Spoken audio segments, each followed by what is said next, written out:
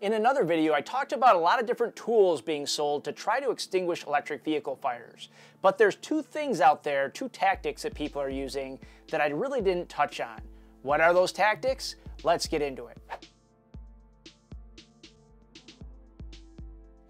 Now, if you haven't guessed already, the first tactic is submersion.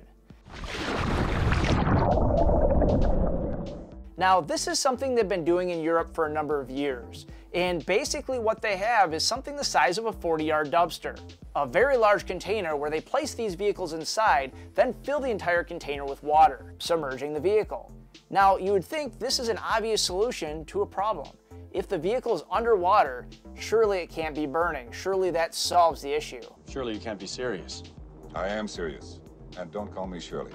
Now these types of systems have made their way to the US. There's a couple different companies selling different solutions to try to solve this one problem. How do you submerge an electric vehicle? Now there's a few issues with submersion.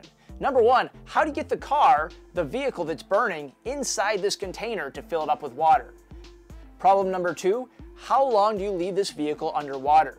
Do you leave it underwater for five days, 10 days, 20 days, 30 days?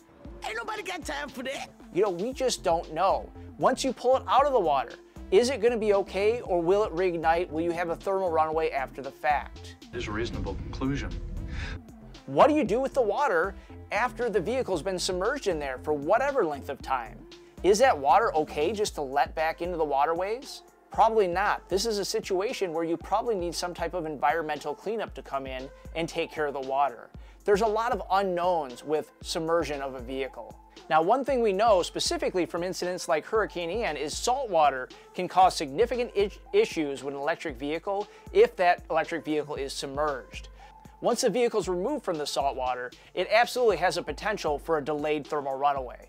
Now another tactic I've seen recently is the fire department actually burying the electric vehicle, that flaming vehicle in sand.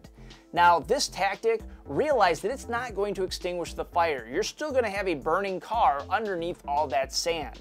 I suppose it protects it, it protects everybody else around that vehicle, but it's not going to put out the fire. Now remember, these batteries don't require oxygen from the outside atmosphere to burn. So once you bury this vehicle in the sand, how long do you leave it for?